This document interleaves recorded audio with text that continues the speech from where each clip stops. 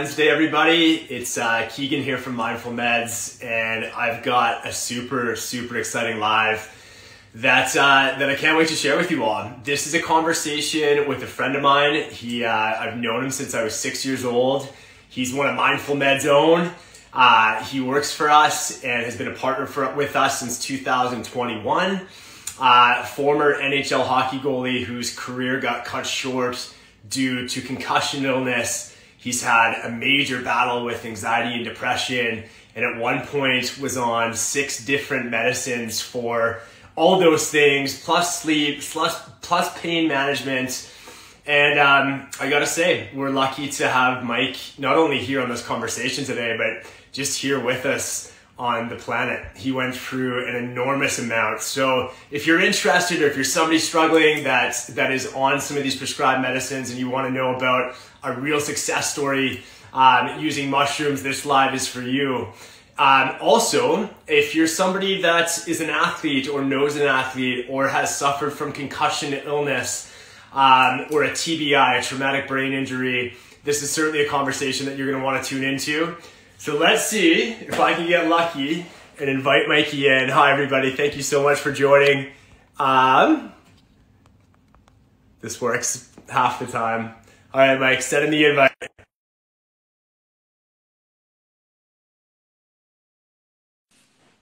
Mike, are you here?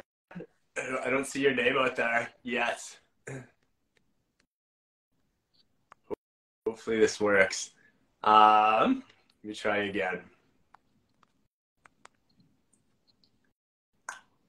Okay, I've got you invited. So let's give you a moment to trickle in as we do that. Hello, everybody. Thank you so much for taking the time to join. This should be a great conversation. Um, I did send Mike a voice note just before we started and didn't hear back from him, so hopefully he joins us. Um, we'll just keep going. We'll just keep trying. So, Mike, if you are there, can you give us a shout out in the comments. Hey, Kaylee, thank you so much for joining. So it says Mike Brodeur is not available to join, and this happens all the time. So just bear with me, guys. This, we're going to make this work. Mike, can you send me an invite and I can try to loop you in? This is a conversation I've been waiting for for literally a couple years, so I cannot wait to get this off the ground. It's going to be what I think is going to be one of our most impactful lives we've ever done. So once we get through this, uh, we should be laughing. I'll just keep trying.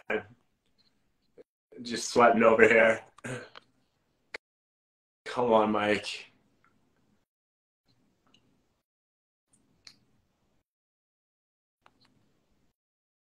Didi from Cali, what's up? We're just struggling to get Mike in here. Mike, I've invited you a ton of times. Hmm. Elisa, are you listening? Can you give Mike a quick phone call for me, please? And just see what's up? It'll happen. For sure, we're going to get this off the ground. I just don't want to lose people because this is going to be such a good live.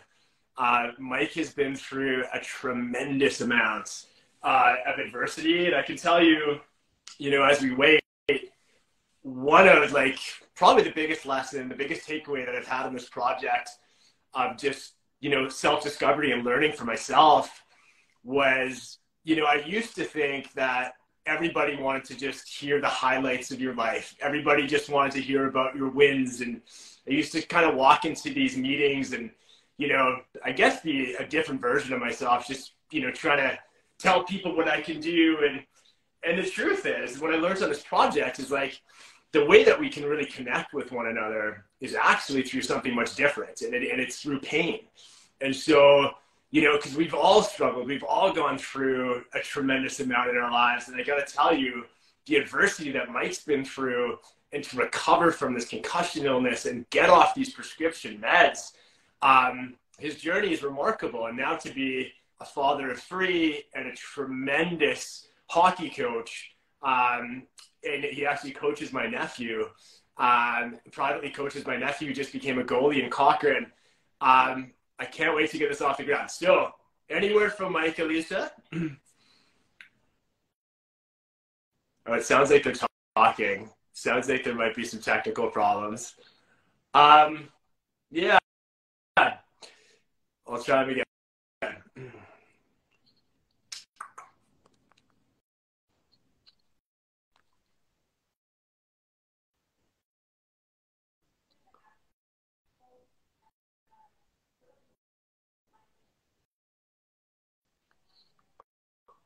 I can hear them talking. Okay, as we wait, does anybody have any questions for me? Does anybody want to ask me anything about mindful meds, about mushrooms, about my journey? Just as we kill a couple minutes here, Mike shouldn't be far. Um, I hear him talking to Elisa. They're trying to scramble to get him in. This is one of his first lives. Um, I know he's been wanting to do more podcasts and, and share his story. Um, and so, yeah, we'll just bear with him as as I've struggled many times trying to get in here. Mike, my man, good to see you. Let me see if okay. So now you should see an invite, and I believe once you see the invite, just click it, and you should be looped in. Shit, man, can you send me an invite, Mike? What's that? Yes, accepts.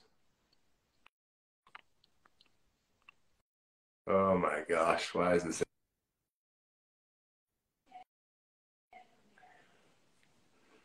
Mike! Before, so. Oh man, so I, I think I see what's going on. I think you've just got some shitty Wi-Fi, and it's starting to clear up a little bit. Sorry, doing? guys, I just had my headphones in, and I, so I'll let you chat through this way. Can you, can you hear me? Mike? Hey, I'm here. Sorry about the delay, everyone. What's up? It's all good, brother. We've been waiting patiently. This is going to be a super exciting convo. I didn't. Did you hear? I just got in now because I was uh, trying to figure out how to do it. I was in my email, and yeah. Anyways.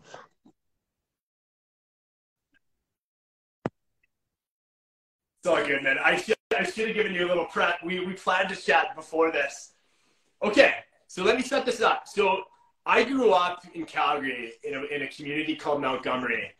And Mike literally lived down the street from me. So I've known Mike since I was six years old. And I played baseball with his brother. Uh, Mike's mom and my mom were friends. And uh, we went to high school together. After high school, there was this kind of great big gap of time where we didn't connect for maybe, let's call it like 15 years. And in February of 2021, my dad passed away, and I did this post kind of announcing the, the project with Mindful Meds on my Facebook. And next thing I know, I get a call from Mike, and he goes, Holy shit, man, mushrooms have completely changed my life. And I love what you're doing. Can we go for dinner? And uh, we met for dinner and I, you know, Mike, I remember your story. It was incredibly compelling. The things that you've been through, the struggle that you've been through. And one of the things that I want to do in this conversation is maybe just take a take a trip down, you know, your your lifeline and talk about, you know, your life, your story of how you got to the NHL and how it, you know, it was this amazing start to your career. You had two shutouts in your first uh, four games, I believe. I think you won every game you played, and um, and then just like that, man, it seemed to be to be over, and the universe had other plans for you. Um, so if you wouldn't mind, Mike, why don't you introduce yourself? Tell tell the audience, tell our friends in the community. Sure, I'd love to. Well, you know, like any kid had a dream. You know, lots of kids dream to be an astronaut or a scientist. I had the dream to be an athlete, and I found it was my only solace. It was the place where I felt I belonged because my whole childhood, I really never felt like I belonged to a group of friends. I had friends, but I never felt like I truly fit in.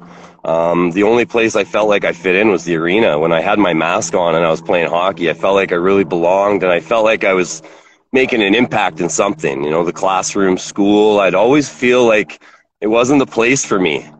Um, anxiety, you know, I had I just figured out that I have visual dyslexia visual dyslexia so when I read something my brain doesn't transfer what I read so going through school not understanding what the hell was wrong with me it really was hard on my brain and teachers would ask me questions and instant anxiety would come in. I didn't know how to breathe and now I look back and it was a lot to do with holding my breath. And, you know, the littlest things that we don't teach our children, you know, just the simplest thing on how to breathe is, it's been life changing for me. Um, so through school, I think I developed a serious, severe addiction to cannabis at about 16 years old. Um, I think it was to block out my anxiety and my feelings of energy because I can, now that I recognize energy and transfer of energy, I really am conscious of how I felt when I was in school. And I think that's why the cannabis intake got so high because I was really trying to block out that transfer of energy between individuals and animals and plants and anything like that where I'm just so sensitive to it. And now I can actually kind of block it out. So it's, uh, it's been an interesting process, but, um, like I said, with six, I chased the dream for 25 years, and I got fortunate enough to be drafted by the Chicago Blackhawks. Uh, I played 12 years professional, and it was it was a dream come true. I got to play in the NHL, and then you know you get to taste the the feelings of fame and glory, and you know next thing you know, your head's on the ice, you're bleeding, and you can't think straight for nearly 10 years. Um, so once retirement hit, it was, you know, what do you do? You know, somebody works their whole lives to be a doctor or a scientist or something like that. And usually it doesn't just get taken out from under you unless you have a severe brain injury or something where you can't perform. And that was the case for me. So you go from peak athlete to, you know, not being able to run up the stairs, not being able to ride in a car, um, severe rage, sadness. You know, I'd cry daily. Um, oh. It was hard.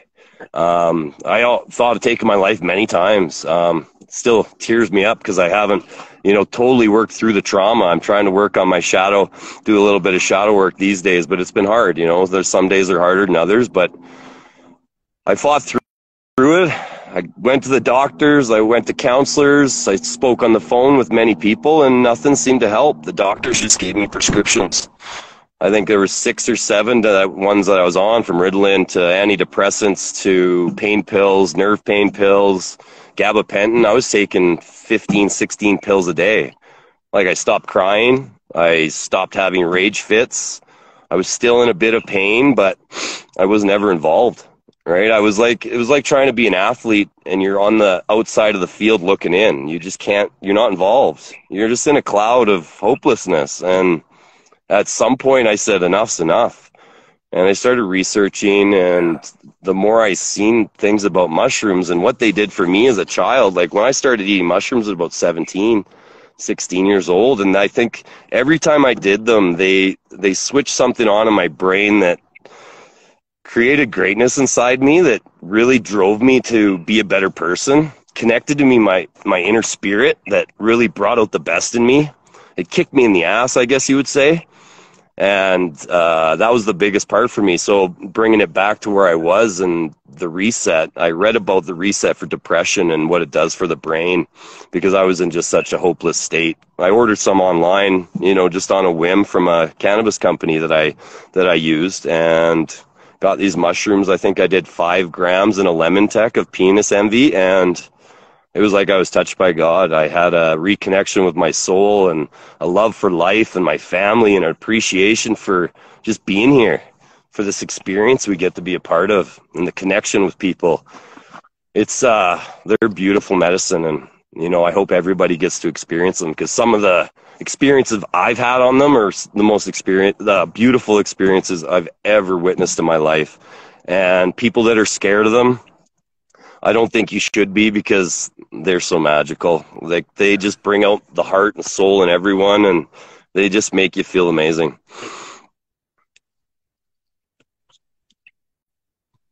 Yeah, man. There's uh, there's so much to that, Mike, and, and thank you for for diving into these places that that are difficult to chat about, man. But I can tell you, there's going to be somebody on the other side of this conversation that needs to hear this story today. And uh, so, thank you for being brave. Um, first thing that comes to mind is that Mike and I actually went to a mushroom retreat together last year. And um, the the live that we did on Monday with Greg Gurman, we went to one of his retreats on Bowen Island together. We drove out together. We drove back together, and I can tell you, I, I don't think I've ever seen a happier human being ever in my lifetime than watching you, um, you know, on your journey, man. It was, you know, you couldn't stop crying. It was so beautiful. It was amazing to witness. And um, and yeah, so so that is something that we shared together. I'm grateful to have that experience with you. Um, why don't we just maybe circle back a little bit? Let's let's let's start maybe kind of child childhood years, you know, now having all this time to kind of do, do some mushrooms. And by the way, as far as I know, you haven't done another mushroom no, since we went. I haven't. On our that was the last time. Yeah. That was the last time you did it. Yeah. And so when we talk about doing these journeys, we're, we are talking about doing them um, in a very safe therapeutic setting, and and also doing them really when when when it's necessary like when, when we're really feeling called to it you know i don't want people to get the impression that you're out there doing mushrooms every weekend because it's just not that's just not the case for you um, but you mentioned something really interesting and something that i can relate to is you know that addiction side of things is certainly something that we share in common. And mine was different and came at a different time in my life but certainly can relate to being addicted to something. So when you've had like these psychedelic experiences and you've had a chance to go through tons of therapy, I know you have, and um, when looking back on that anxiety, can you put a finger on maybe how that's you know i think the anxiety from? really came from the brain injuries and surgeries because i you know i had back surgery multiple hip surgeries multiple hernia surgeries and I think performance anxiety started, you know, not wanting to get hurt, not wanting to get injured again, and then the brain not working properly. Kind of, I think that was the major tweaking point was when I banged my brain for that one time that really messed me up, really threw me sideways, and just it was like my brain wasn't functioning properly, but it was almost like it was telling me I needed to change things.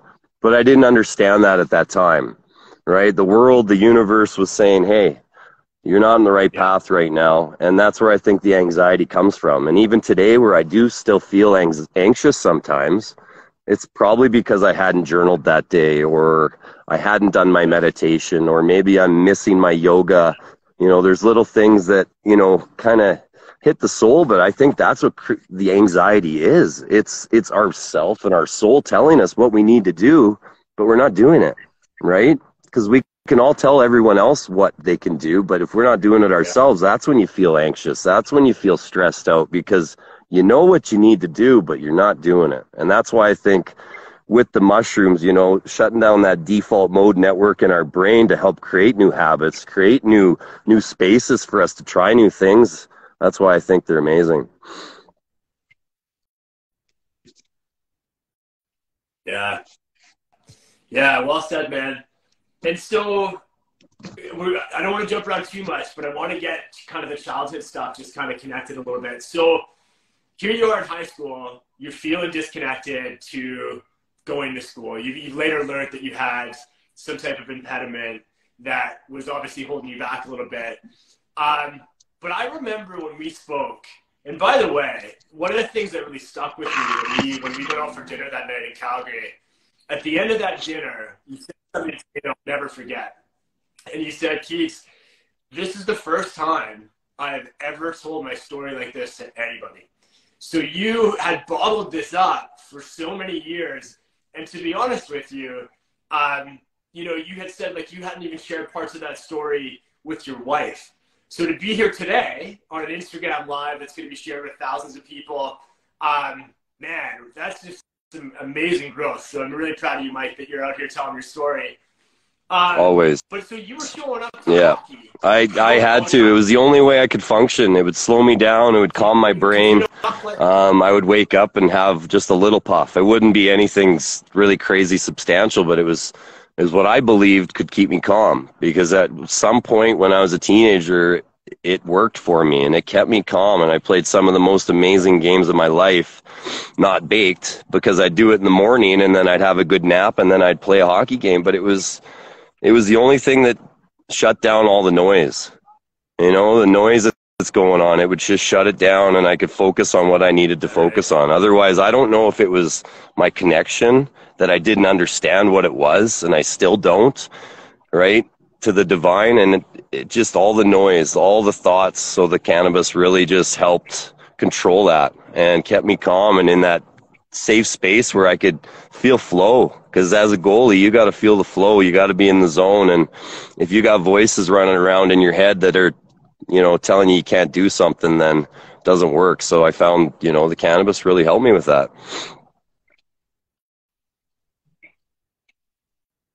Wow, man. And uh, yeah, like cannabis to me has, has been very helpful to you. I, you know, for me, it's to quiet down the brain a little bit. I have ADHD. I don't tend to use it during the day, but very helpful for me in the evenings for sure. Um, so now you're going through high school. You've got this cannabis addiction. You've got this extreme anxiety. It was it was prior to when I put the pads on, but you know what? Like I'd have anxiety going to school. I'd have anxiety going to new situations. You know, going in the locker room. Like I said, the only time it would go away was when I put my helmet on. It was my safe place. It still is my safe place as a coach. When I'm on the ice, I'm nothing else matters. It's just it's my happy place, right?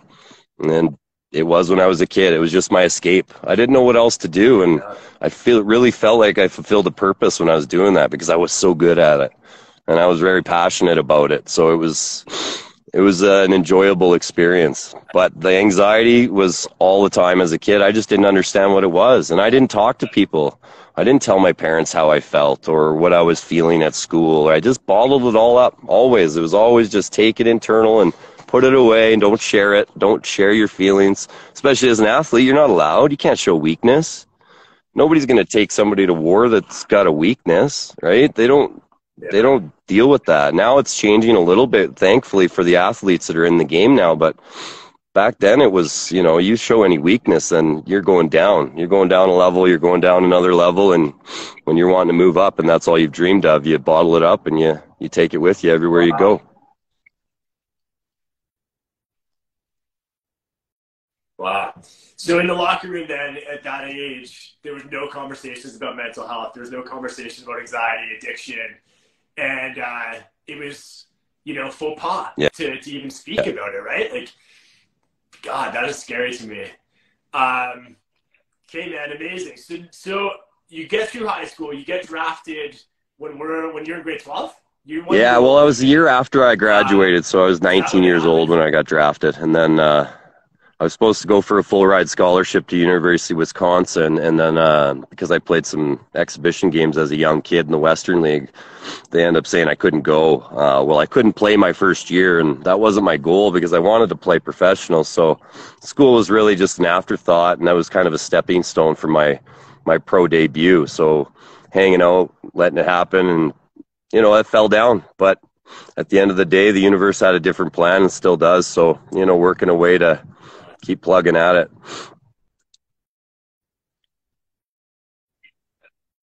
Hundred percent, man. So let's go because I remember being in Lethbridge. I think no, that was in two thousand nine and ten. you were playing for the Sens. Two thousand yeah. 2009 10. So that was afterwards. Okay, gotcha.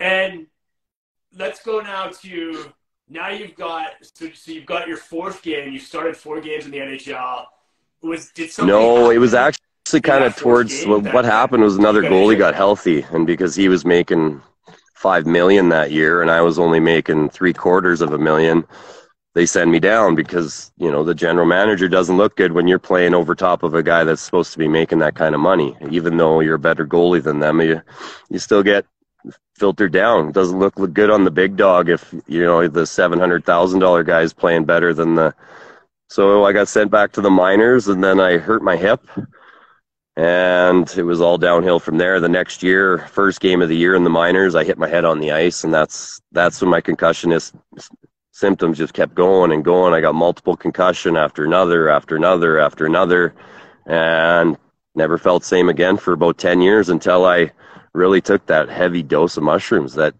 I don't know if it fixed my brain or fixed my mindset I'm not sure what it was, but I did them. I think I did a macro dose five times in two months, heavy.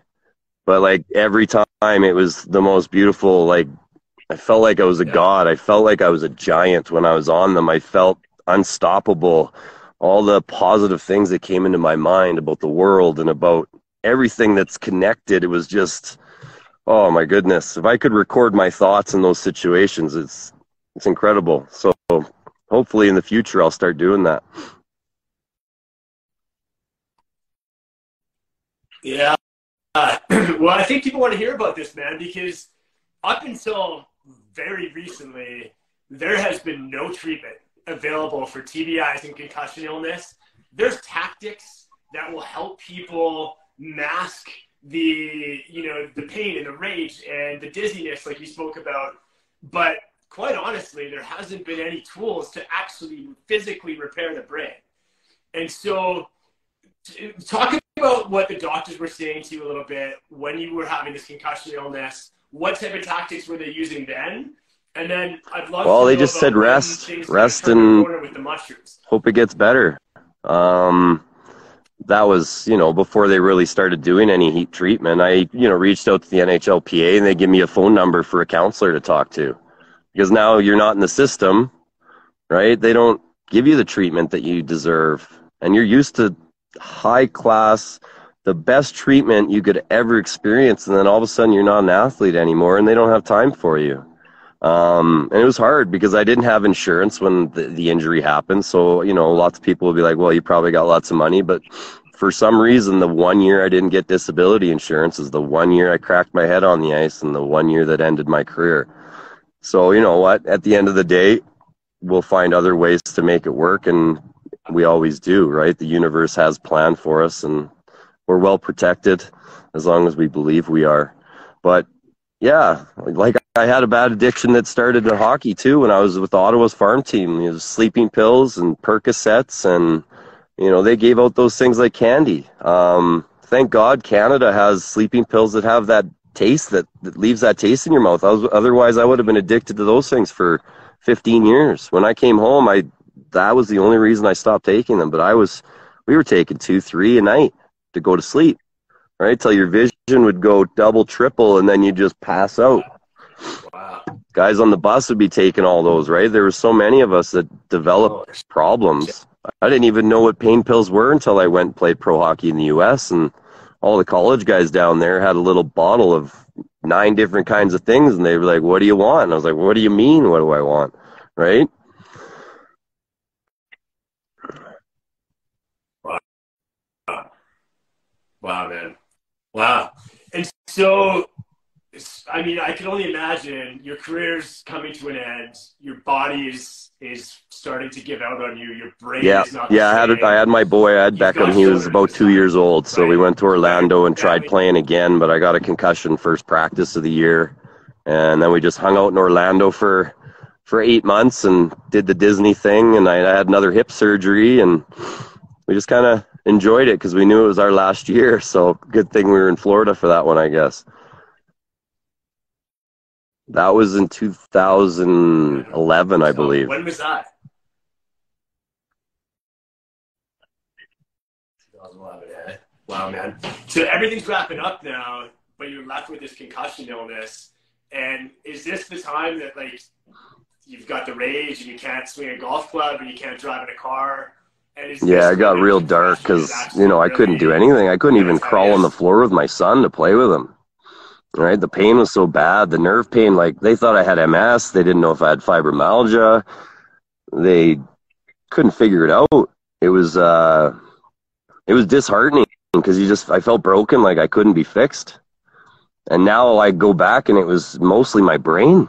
My brain was what was causing the illness. My brain was causing the pain my brain was causing everything. And now when I do feel like my stress rises, that's when my pain comes back a little bit. So if I can control my stress and control my anxiety, it seems to keep my my pain under wraps. I still have pain, no question. I got pinched nerves in my back that will take a long time to fix, but it's way better. It's manageable. I'm not lying in bed eight hours a day trying to just breathe through the pain. It was so bad that I would just lie in bed in tears and breathe through the pain for six, eight hours. Then I'd get up and go to the rink and get on the bench and coach, and then I'd go back.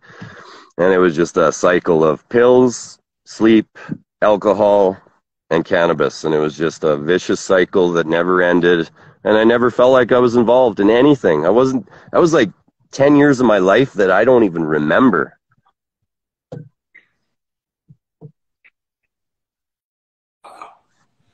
Wow, man. I gotta tell you, like that this all resonates so much with me. You know, my life at that time and, like in that pocket of time was also really crumbling. And um, fuck, man, I was fully addicted to alcohol. I was so close to jumping off a building in New York City in 2008. And uh, so I can relate to that pain but it's remarkable the turnaround and to see the turnaround. And I think so. at What point did you find the mushrooms then? So it's 2011. Let's try to get up to date to where we are today. So 2011, you come back from Orlando. Now you're coaching, but you're stuck in bed. Yeah, no, that's just that's when it. Uh, well, when I first retired, I started. I was hanging out with my cousins and a few friends that were pipeliners, and we dabbled in some stuff we probably shouldn't have um, for a little while and partied a little harder than I'd like to. Um, but it was it was an interesting um, aspect. I think it was part of the plan for me to try these different things to understand what other people are going through, where their struggles of recovery, because I'd really like to get into that. You know, form of therapy is helping people recover from addictions because I've tried almost everything you could know and so I understand what they're feeling. I understand the feeling of needing it. I understand the feeling of, you know, getting away from it and trying to recover from things. And it just, it's hard. It's hard. And I think, you know, it's easier when somebody's experienced it themselves and it's easier to connect with them when, when they've de- dealt with it as well. So it's, it's something that I'm really passionate about and I really would like to get into it in the future, but it's, uh, it's a, it's a ways away. For sure, man. For sure. And so, walk us through what what what healed you, Mike. Because like, you know, you were in such a bad shape at that point. You were on all these prescription meds. When did all that? Uh, like, when, when was it? It was uh. Is kind of. About 2000 and.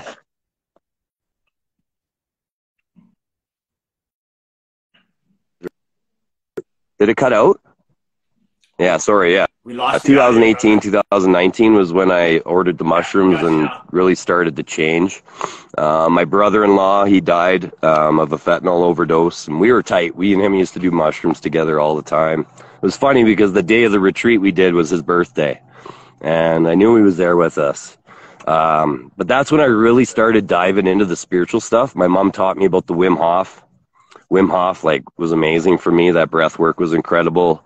Uh, my mom also taught me about the tapping, um, EFT, emotional freedom technique, where, and I had a breakthrough when I did that. That was I broke down and cried for three hours, and that was like the first step to like realizing that this can change.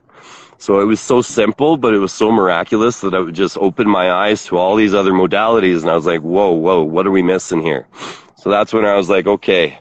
I need to avoid the doctors and I need to dive into me. And then where can I fix this myself?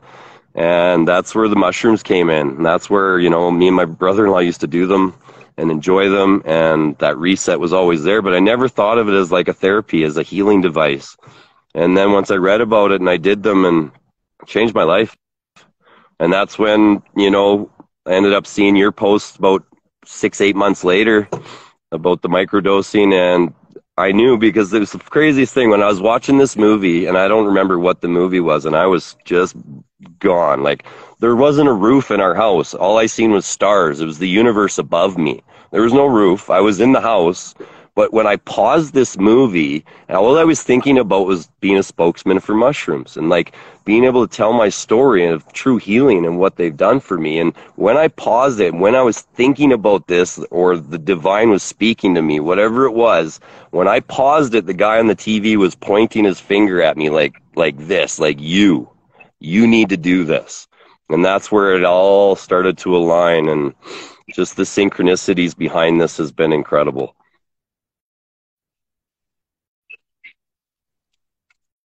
Oh God, that's so cool, man! And uh, and you're here. You found your way into working with the mushrooms. By the way, if anybody wants to communicate or chat with Mike about a story, Mike runs our live chat on our website all weekends. Friday, weekend, Saturday, Sunday, yeah. Sundays. Is it Friday, Saturday, Sunday, or Saturdays and Sundays? Friday, Saturday, Sundays. So if you want more about a story, if you want to hear about what Mike is taking for microdoses to help him with his anxiety, depression, um, he's there, and we're all here to to help you know at any capacity that we can. Um, had something. I had some things written down, but I, I kind of like the flow of, of the convo. So I remember when we connected, man. Like you were deep into, as you mentioned, the breath work. You were one of the first guys that I knew that was doing the cold plunges really early. Uh, you know, three or four years ago. I know they're taking off like crazy now. Um, meditation. And where where are you at with all those healing modalities today? Do you still find time? Always to, the to the breath work is it's know, a catalyst for me. Um, yeah. If I don't do it, it I'm I'm a wreck. You know the mushrooms help, but I need that breath. The breath quiets the mind. Um, so when I get to the hockey rink and I'm coaching, if I have an extra 15 or 20 minutes, I'll close my eyes and I'll connect. I got a HeartMath sensor and I, I'll throw that on and I run that myself. I try and teach my goalies how to do the heart math as well because that brain heart connection is, it's incredible what it can do for your life. And that visual feedback, I think, for children to see really teaches them how that feels and what it's like to be able to feel like that and have that connection. And I do it every day. Honestly, I'll wake up, I meditate, I try to do it twice, three times a day just to keep my mind clear. And I try to teach my students the same thing. You know, breath is power, breath is life, breath is spirit. I think, you know, I, there's so many adults that I talk to that don't know how to take a deep breath. Like they don't know to fill the diaphragm first. It's it's incredible and you can see them think about it and they're like, "Oh shit, I've been breathing wrong my entire life." You know, like what are we teaching in our schools? We're teaching about history, but is it real history? Can we, you know, maybe yeah. talk about what we're really here to do? And that's, you know, that's what I feel like I'm here for is to teach these teach these kids how how to be be here and know that they're enough or more than enough, right? We're more than enough and we're here to be a part and be a part of the collective and we're all connected and we need to understand we're not individuals, right? We're all here to be together and walk each other home.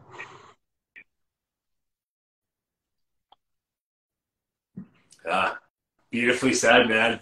I actually I just started some new therapy here in Vernon with uh, with a woman named Liz Rizanson, and she uh, in my second session brought out the heart math and got me connected to the HeartMath. Do you want to maybe give people that are hearing this for the first time an explanation of what the heart math is and and what it's actually monitoring? Because it's no for sure. The HeartMath's amazing. well what it does is it teaches you well when you react to something or when you respond to something we actually respond with our heart first. So when our brain and our heart is in coherence we're going to respond to things better. We're going to react in a better situation. We'll be able to solve problems without any kind of issues so with the heart math, it teaches the kids or people how to connect the brain and the heart just through breath. And it's the most simple exercise you can ever do because all you do is think about your heart, think about something that brings joy or love or bliss to you, and you breathe through that area. And the instant feedback it gives you, well, with your if you're in coherence, it goes green and it shows you a stage of where your heart is. And then it's cool because when I do it with my students, I'll be like, "You suck." Whatever team they're on, I'll be like, "Your team sucks," and you can see it instantly go red and then they have to find a way to get it back. So it's it's and and they can get it back really quickly. So it's teaching them how to respond to stressful situations through breath instead of reacting to it.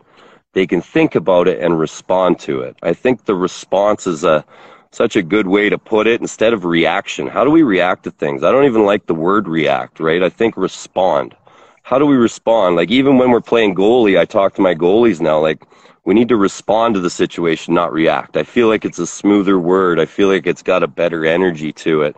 And that's why I think the HeartMath's incredible. I want to buy 20 of these sensors. I want to start going to schools and I want to teach the kids how to do it because I think the instant feedback for kids is what they need to see because technology and the connection with the HeartMath device is going to help change the way kids respond to stress. And if I can teach anything through my sport and through coaching, if I can teach them how to deal with stress, I don't or with stress, I don't care about the way they stop a puck at the end of the day. But in 10 years, when they get in a stressful situation and they can think about brain, heart, you know, heart, breathe. Okay, stress has gone down. Thanks, Coach Mike. I've done my job.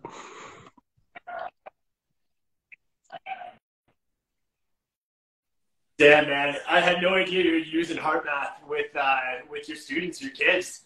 That to me is spectacular. What other tools are you are you bringing into your coaching that uh, that might be a little different? Breath work. And, I teach the kids, you know, how to set goals. Uh, we talk about mind movies, um, how to create your own movie in your mind. Um, but first, getting to that state of mind where you're in coherence, right? We need to be in an emotional state that's relaxing and then create that emotion that backs that visual of where we want to be, right? So wherever that goal is now, it's not just seeing them make a save. It's, you know, connecting their breath. What do they smell? How does it feel? Right? What does it look like?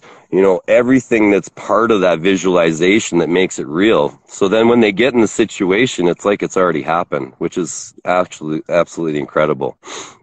And the sensor's called, if you type in HeartMath online, it should come up. Um, yeah, HeartMath. I'm not sure exactly what the the company's called, but the device is called HeartMath, and it it should come up if you guys type it in your link. Yeah. Yeah, no, I was I was really intrigued by it, man, and I just had my first HeartMath session last Tuesday. And then yesterday, when I went back for another session, she's all about like this exact conversation. So she's all about giving people the tools that they need in these stressful situations. And, and yeah, yesterday, man, I was doing the Wim Hof with her. It wasn't actually Wim. It was it was another guy named Dirk here in Vernon. Um, but it was incredible, man. 31 minutes. It blew past and like it felt like it was five minutes. It was that quick. She did it with me but I got to be honest, like I was in that boat of people that weren't taking a proper breath. I had done some Wim Hof before many times, but she was actually teaching me about taking the full breaths and uh, the pressure points that you have on your spine and, and all the way up through your neck. And uh, for the first time ever, man, I, I, I left that session and I was like on cloud nine. It was it was cool. It was the first time that I'd ever experienced breath work that way. So that's fucking awesome, man. How you know if, if somebody wants to do some coaching with you are you open to that? Like what is what is your schedule like these days in calgary? I know you're crazy busy but if if anybody's listening yeah, they could reach to, out to me. I, I have a website you, balanced with 3d i can type it in the link here. Um, yeah we'll, we'll put it into so that's it right there just balance.ca so that's my coaching company where i you know, I teach students and players how to play the game, but I think it's more about life and how we interact. Um, I'm a coach, but I feel like I become more part of the family than just being a coach, and I try to wear my heart on my sleeve. I put emotion into everything I do, maybe a little bit too much, but I think that's why we're here is to change lives and impact kids in a way that, you know, I never really had that. I had some great coaches, but never impacted me emotionally that you know, changed my life, changed my thought process. You know, I think that's the part of being a coach is helping people change their thought process on what life actually is, you know, making them see things for a different, from a different side, you know, just look at things from a, a different perspective. I think it's important to open our minds to possibilities that they make sound cr- crazy because everything that I'm dealing with now 10 years ago, I would have been like, that's crazy. What are you talking about? Right. And that's to me now, that's all life is spirituality, yeah. love, freedom, you know, being in nature. That's why I went for a walk today. I'm down by the river. It's a beautiful day. It's nice enough for me to sit outside. I'm still wearing a toque, but I need the connection. I got my boots off right now, trying to get grounded to the earth because it's it's needed. And without that grounding, I feel like my root chakra is broken half the time. So taking my shoes off, even if it's cold out, it's okay.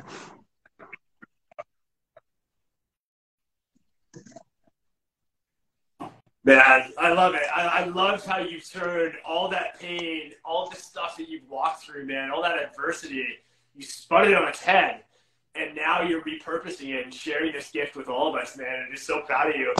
Um, as I mentioned, my nephew's been doing some work. Oh, he's been awesome. He's quite the little athlete, uh, and he's so competitive. That's where he's got. If I can teach him to breathe a little bit, to just to let things go, right? Water off a duck's back. We got to have a little selective amnesia as a goalie. So, but very good little glove on him, and his improvement in six months is absolutely incredible. So, pretty neat. Actually, I just booked Dyson Vernon for the first week of August. I'm going to do a camp out there. Yeah. Oh, right on.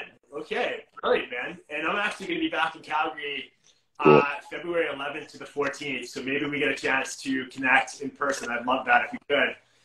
Um, listen, man, we've got some feedback coming through, and if anybody has any questions or wants to ask Mike something, please feel free to drop it in the question box.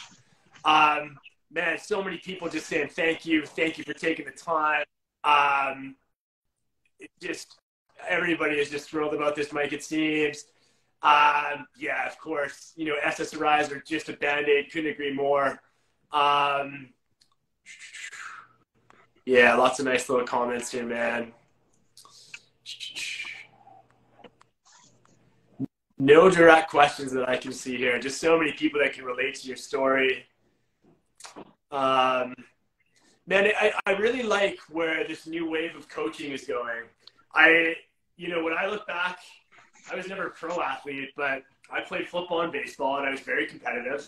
Mr. And, Dom. Uh, our high school. Oh yeah, he caught me skipping dance a few times. Don Don. that wasn't good. I mean, he probably tore your head off. Yeah, I mean, dude, the guy. I just remember nonstop. Like he just yelled at you nonstop. Like there was no compassion. There was no like he, the way that he coached and he got the job done um, was just by tearing you apart and, and ripping you to shreds if you screwed up. And I just love this new way of thinking, man, and, and connecting with these kids and using these tools. Um, I, I, highly recommend for everybody that is interested in new healing modalities or is that, that is possibly working with a therapist today to find somebody that is, is doing this heart math stuff. Because even after one session, man, I found myself over this past week getting into the heart math rhythm, using the tactics, using the breath work, thinking about you know the same things that you said, something joyful, you know, a moment of love, and you know within minutes I'm changing my perspective in my brain. Whereas you know my tendency is once I get into that red zone, and and anybody that looks into this will know, it's kind of like an unhealthy place for your nervous system to be that is where if I'm going to use or I'm going to reach for a substance, it's because I'm hanging out in that red zone for too long. So these these tools to get me out of there um, are highly highly effective. Looks like we do have a question. See if it works. I haven't. Never even heard of it actually. Have you done brain spotting at all, Mike? I'll have to look it up. I haven't either. That's something we'll have to we'll have to look into. Maybe you can send us some info on that, Kelly. Um, listen, brother, I have somebody upstairs doing some work, literally right above me. So I hope the audio hasn't been showing that, but I'm having a difficulty concentrating with the noise upstairs. Um, it, you know, do you have anything that you want to leave the audience? Any any wisdom, Mike, that you want to leave us off with? Um, or any way yeah, you, you know, just brother, I'm very thankful to be part of this project. Um, I've had many friends reach out over the past few years thanking me for telling them about what this these mushrooms do and how they've saved their lives and they've changed their lives I had a few friends that reach out saying they weren't working, and I said, stick with it. They stuck with it, and then they thanked me afterwards. Because sometimes it takes a month. Sometimes it takes a little more than a month for these medicines to start working. And they're not a band aid that's just going to fix things like this, right? They're a tool to help you change your life. They're a tool to help you change habits. They're a tool that are going to help change your way of thinking. And I think, you know, the microdosing is great. It's a great way to do it, especially if you got a little bit of fear or if you're sensitive to certain things. But I think everybody's going to have to experience a macro dose. Um, at some point, you need to. And if you're afraid, hopefully in the future, we'll be able to help you along those lines and get you through it the right way. It's something I'm passionate about, something I would like to get into eventually is helping run these sorts of retreats because I have experienced macro doses so many times. The good, the bad, the scary, the happy, the love, everything that's involved with them. I've experienced every experience you could ever think about on mushrooms. So I think I could help people through no matter how hard their journey was because sometimes the journey is hard, but it's hard for a reason because we need to purge some of the shit that we've been bottling up for 20, 30, 40, 50 years and that's what I thought. Well, I was really impressed with the the retreat we went to, where there was some yeah. 60, 70 year old women there that were had zero fear, that were there with their heart on their sleeves, and they were just ready to experience something new. And how cool is that? The, you could see them. You know, they were breaking down. They went through a lot of hard stuff, but afterwards, I feel like you feel like you're a bit free. So don't be afraid. Please reach out. I'm on Instagram, Facebook, wherever you want. If you want to talk about macro dosing, you want to talk about microdosing, maybe you know someone with brain injuries. I'm here to help. That's my goal is to just be behind people and help you take the right steps forward because I was lost. I was broken. I didn't think I was going to be fixable. I'm still a little bit broken. I'm not going to lie. It's a long process of growth. It's going to take many years.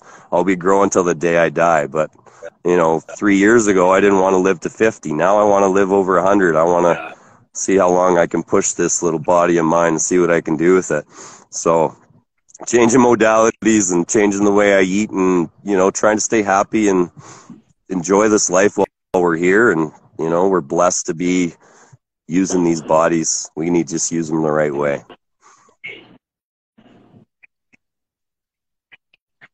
I couldn't agree more, man. And, and honestly, we're, we're blessed to have this conversation. And uh, we're so grateful to have you on our team, Mike. And I'm so proud of you and all the growth that you're thank doing. You. you inspire me all the time, brother. Um, so thank you. And and I agree. I mean, microdosing, um, you know, maybe start with microdosing. I think most people that start with microdosing find their way to a to a macrodosing journey eventually. It's a great gateway to to the bigger stuff. Um, both have tremendous value when you do them the right way. Um, Kyla Thanks, Kyla. Says, Love you, Mike. Glad you came into my family's life.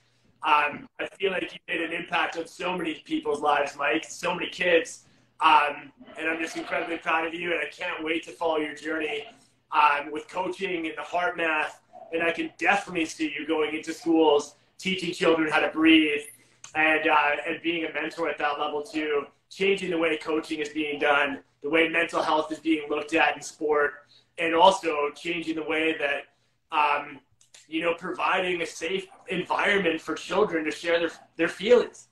I mean, that didn't exist for us, right? It just wasn't a thing. And so, Thanks. paving the way that way, man. And if it wasn't for my wife, I probably wouldn't have been here. You know, she kept me here. She kept me on the up and up, and she was my, uh, she's my rock. Keep me here. Yeah. And she's a beautiful human being. I know her, and she's amazing. And I agree. It's uh, we both have amazing partners in our life. Um, and by the way, just speaking on on that side of things, I'm actually bringing Elisa on uh, a live next Friday, and it's the first time that her and I have ever shared our story, our 11 year relationship that we've had. Um, and some of the things that we've had to walk through, some of the pain that I put her through with my addiction, and uh, and the fact that we're still here together doing this life together and actually getting married this year. Um, so I think it's going to be a compelling story, and uh, and I, I hope you tune in for that one, Mike. And maybe one day we'll get Melissa on one of these things as well to share about how she she kept it all glued together. Um, it's amazing, buddy. But I think what we'll do is we'll sign off for now. Have an amazing Wednesday afternoon, everybody. Thank you so much for taking the time to join us. And um, again, if you want to connect with Mike, you can connect with him directly on Instagram or Fridays, Saturdays, and Sundays. He runs our live chat, so you can come and chat with him directly, talk about what's worked for him, uh, you know, to help get him off prescription medications, pain management, sleep pills, you name it. You've gone through it all, brother. And uh, we're so grateful to have you on the team. So I'll open it up just for one last moment. If anybody wants to share anything with Mike or ask us anything, um, now's the time. And if not, feel free to just drop it in the comments. We're going to get back to absolutely everybody on this. Um, so big love to you, Mike. Thank you to the entire community. Thank you, guys. Thanks, and, Keegs. Uh, you guys have a wonderful day. Thanks for taking the time. Cheers.